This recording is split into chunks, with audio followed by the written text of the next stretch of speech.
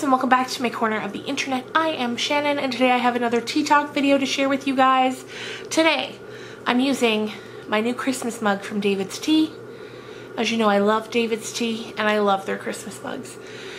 It is this one here. It's got the deer um, and it's actually temperature controlled so when it's cold uh, this disappears and then when it's hot you can see the shadow of the other deer bending over. And then on the other side, you've got this little guy. And I just love it. One of the things I love about David's mugs is that they're subtly Christmas. It's not too over the top. Now, don't get me wrong. I love a good gaudy Christmas mug as evidenced right here.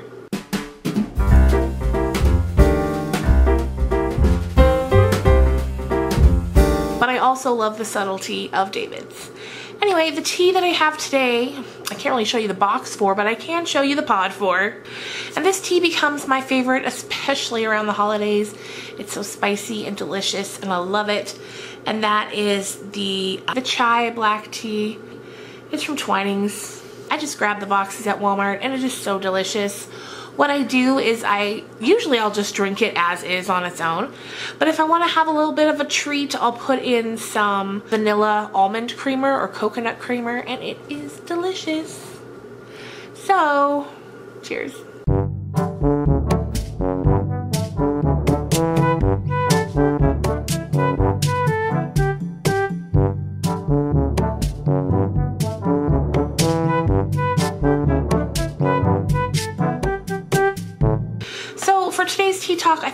Also do a bit of a Christmas tree tour.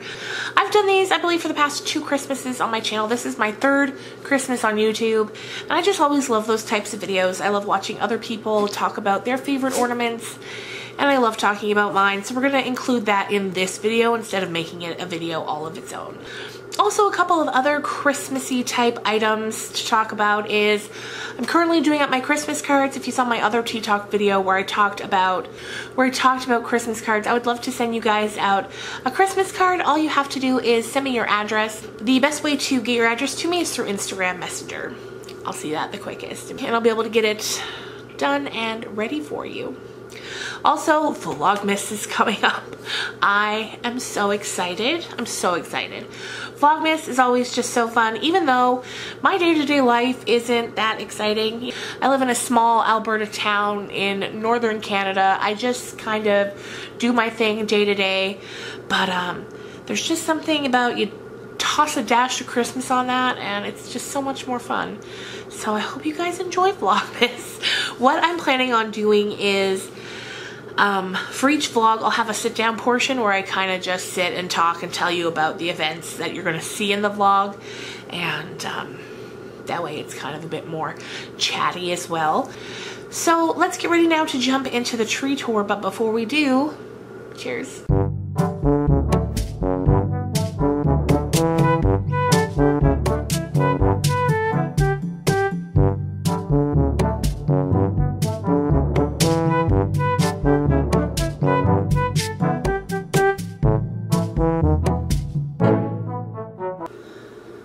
First of all, here by the tree we have these two little cuties that sit together snuggled up. And this little rocking chair that actually used to belong to my father-in-law when he was a little fella. Then we have this little guy here. He's made of construction paper and my husband made him when he was like four or five years old. And it's just, just so cute. And we always keep that on the tree, of course. Next we have this little wooden handmade ornament here that was given to me by my grandfather. On the back, he just wrote, To Shannon, love Poppy, 1998. That was the year my grandmother died. That was our first Christmas without her. And he gave one of these to me and my sister. And over next to it here, we have a TARDIS. Because what tree is complete without a TARDIS? And here we have uh, First Christmas Together 2003. Little dancers, so cute. Next we have this little cactus that my mom brought me back from Arizona last year. And then down here we have this little glittery orange bat that my friend sent me. And it always makes me laugh to put it on the Christmas tree. Then up here we have an ornament from Ireland that I brought back this summer. And then over here we have a St. Martin ornament from when we went on a Disney cruise and we stopped in St. Martin. Also here, this beautiful garland. Uh, my mom made this for me. She crocheted the garland onto the beads and it's so beautiful. Everybody who sees it loves it. And because of that, she's made dozens and given them to friends and family. And here I've got a mummer on my tree. Uh, mummering is a Newfoundland tradition where you dress up on Christmas Day evening. Hi, Shannon from the future here. Honestly, it doesn't have to be Christmas Day evening. It can also be Boxing Day or any night around Christmas time. And go door to door and see if your neighbors can guess who you are. There's a lot of live music involved. There's a lot of alcohol involved. And uh, yeah, this is my little mummer. And then I've got another one just down over here.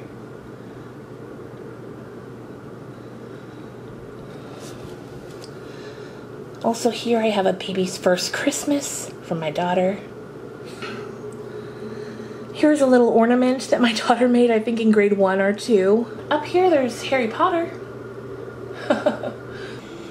A wonky little penguin that I bought one day in last year's Vlogmas at the local cafe. I just thought it looked so insane and adorable. It just had to come home with me. I've got some sparkly Disney year ornaments. And up here, this says, Holiday wishes, Newfoundland kisses, missing you at Christmas. My aunt sent that. It's a little bell that says it's a wonderful life. And here's the tree from a bit of a distance. The lights can change from white to color, but I just got them white today. So there you go, you guys. I hope you enjoyed the tree tour portion. There's a lot of really sentimental ornaments on my tree. I know some people do, you know, these beautiful extravagant trees with themes. That's that's not how I do it. That's not how my mom did it. That's not how my grandmother did it. Although to be fair, my grandmother always kind of had um, two trees, and while we do have a few trees here, we only have one big one. But my grandmother would have the two big trees, and one would be in the sitting room, and that would kind of be the fancy tree. And then she would have another tree in the living room or the TV room, and that would kind of be the more sentimental tree. So there you go. I guess. Cheers.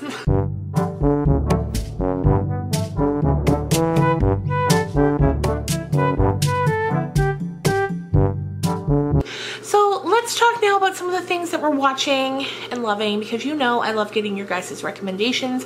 I've watched so many amazing TV shows and movies because you guys have recommended them. I just got Amazon Prime and um, the main reason why I got it is because currently right now in Canada um, the postal service is on strike. Now the way that they're doing is it's a rotating strike so um, my town is usually only affected once a week. So that way it still keeps the mail moving during this very busy time for mail, but it still allows the union workers to go on strike. So because of that, I order a lot of gifts from Amazon. And I thought even if they can't guarantee the regular two-day shipping that um, Prime offers, it would still probably move faster than if I didn't get it. So anyway, my whole point is I'm watching Mr. Robot on Prime and it is so good. If you were if you haven't seen it, it stars Rami Malek and um, Christian Slater. I always have to stop for a second when it comes to Christian Slater and Ethan Hawke because I get them I get them confused so much. Christian Slater and um, it's about hackers and Rami plays um, this vigilante hacker who goes through people's networks and finds the bad things they're doing and then brings them to justice for it. And a lot of the times when he does that, when he confronts them, they're like, oh, how much money do you want? But the thing is, he doesn't care about money. In fact, the opposite's true. He hates it. He thinks it's the root of so much evil. Um, so yeah, he just he just brings them to justice and then he gets contacted by Christian Slater, who plays Mr. Robot, and Mr. Robot's trying to bring him into his group.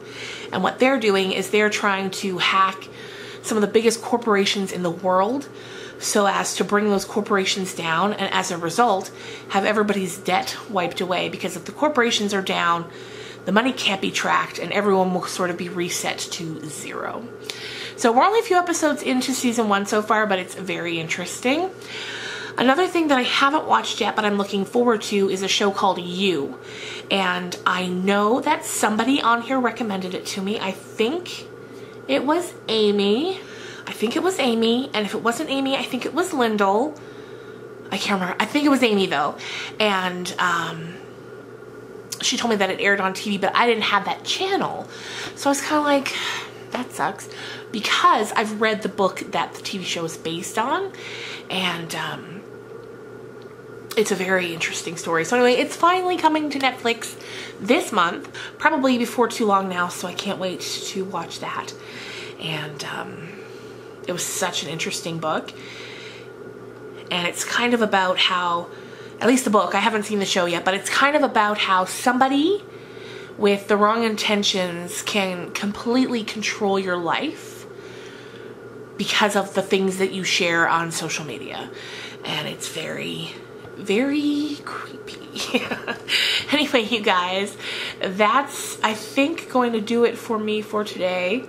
Oh, also, before I go, I have one more thing to share. It's kind of a bittersweet thing for me. I feel like I'm one of the final people left that I know that has a landline in their home.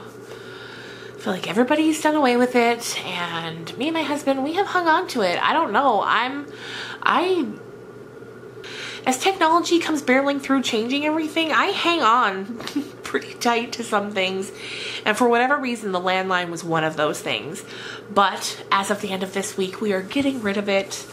So a moment of silence for my long-standing home phone and for all the phone calls it has brought me. Calls from friends and loved ones, calls from telemarketers and people I don't want to hear from. um, so yeah, it's the I'm just 10 years behind everyone else reaching the end of that era. Anyway, you guys, thank you so much for watching. I hope you enjoyed this video. I will see you on Friday with another Christmas book talk. And then Saturday, you guys, we switch it on over to Vlogmas. So until Friday, cheers.